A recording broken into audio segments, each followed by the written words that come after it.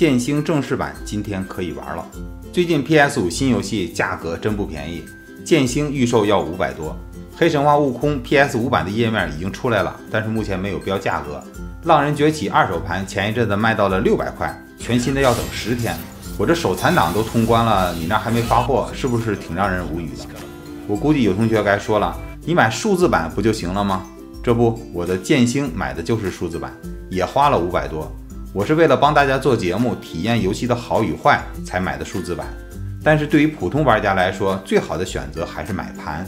比如《浪人崛起》，玩上几十个小时，通关之后基本上也就不会再探索了，可以趁着还有热度赶快卖出去，很有可能还能赚点，妥妥的理财产品。其实现在卖二手游戏盘很容易，比如转转有个平台寄卖。我们可以把不玩吃灰的 PS 五、PS 四游戏盘、Switch 卡带，甚至闲置的手柄一起打包寄卖。我们可以自主定价，在平台寄卖，下个订单之后就不需要操心了。像打包、拍照、质检、上架都是由平台负责，我们也不需要和买家沟通砍价，平台有专业的客服都帮我们做了。到时候只需要等个两三天卖出到账就好。而且转转平台针对 Switch 卡带、PS 光盘是免手续费的。